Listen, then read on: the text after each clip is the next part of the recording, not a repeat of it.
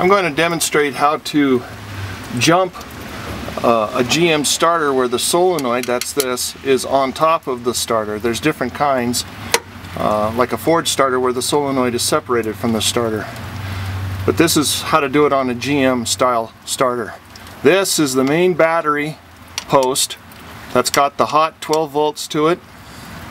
This is the negative post. You see it's attached to the battery or to the uh, main part of the starter motor itself. This big thing here is the starter motor.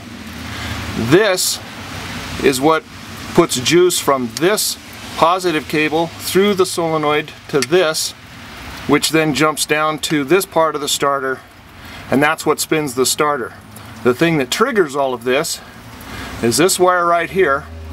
I call that the trigger wire. And this is excited by the starter switch somehow.